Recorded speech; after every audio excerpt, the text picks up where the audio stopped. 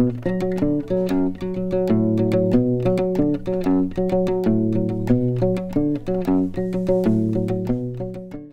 rôle d'une commune dans, la gestion différenciée, il faut savoir d'abord que les communes sont propriétaires.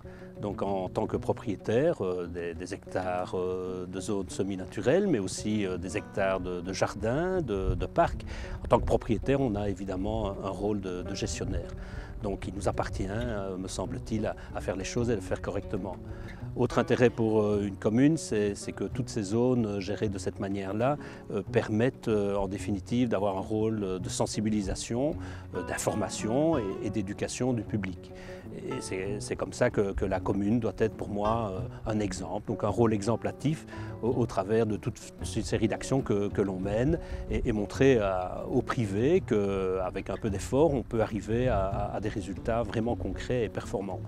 Enfin, je dirais que la commune aussi a un rôle de facilitateur, euh, puisqu'au travers notamment d'opérations que l'on mène, de distribution, par exemple de kits de coccinelle, euh, voire de purin d'ortie hein, contre les pucerons, euh, on peut faciliter les choses, donc on peut donner des pistes concrètes pour Monsieur Tout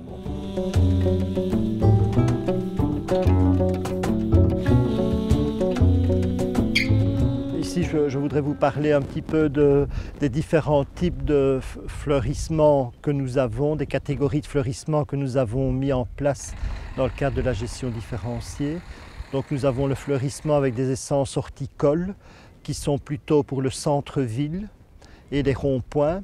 Nous avons un fleurissement avec des semis en place de fleurs annuelles sur certains îlots donc là, on a une sélection de plantes qui sont adaptées au point de vue hauteur, puisqu'on se trouve sur un îlot. Et puis nous avons le pré-fleuri, qui est réservé dans des zones intéressantes, plutôt à l'extérieur de la ville, là où on a mis en place un pré-fleuri euh, aussi d'une trentaine de variétés de fleurs, mais là c'est des fleurs indigènes, ce qui différencie très fort du, du semis en place, où là on travaille avec des essences horticoles.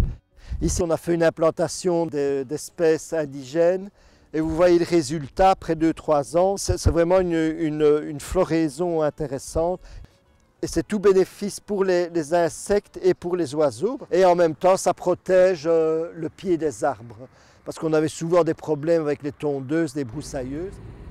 Et puis alors, nous avons la gestion, bien sûr, avec un fleurissement intéressant uniquement en travaillant sur les fauchages, les différents types de fauchages. À côté de ça, nous avons, mis aussi nous avons fait des essais sur certains îlots avec des plantes couvre-sol pour euh, éviter le développement de plantes euh, trop envahissantes ou, pour ne pas utiliser d'herbicides.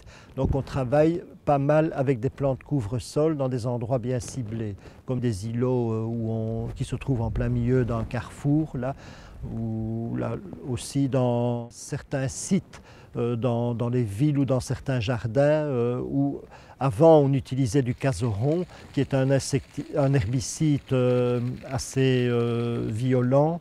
Et maintenant ben, plutôt que d'utiliser du caseron on, mettra, on placera un couvre-sol au pied d'autres arbustes dans les massifs. À défaut des plantes couvre-sol dans les, massifs arbustifs, ou au pied des arbres. nous utilisons aussi beaucoup de broyat puisque nous devons entretenir les arbres d'avenue et tout ce broyat-là, des, tailles, euh, s'utilise dans les massifs.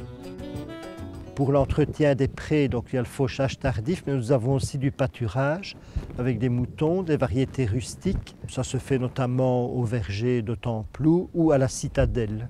Et nous avons aussi un point important, c'est de choisir des variétés d'arbres vu le gabarit de, l'espace du site où on va planter. Euh, par exemple, quand on a des, petites rues étroites, ben, euh, on choisira une variété d'arbres qui est adaptée au gabarit de la rue pour ne pas devoir retailler tout le temps et euh, de transformer la couronne de l'arbre en porte-manteau.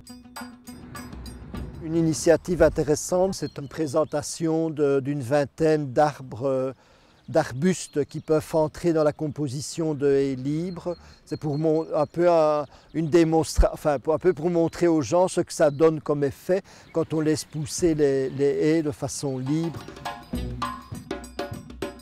Comme autre euh, application aussi, nous avons la lutte intégrée dans les serres que nous pratiquons depuis une dizaine d'années euh, pour la culture des annuels.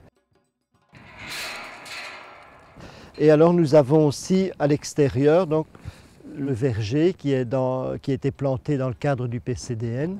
C'est un verger où nous retrouvons euh, des variétés de pommes et des variétés de poires euh, anciennes et où on a euh, une lutte intégrée par, où on travaille avec des phéromones pour lutter contre la mouche de la pomme, donc le Carpocaps.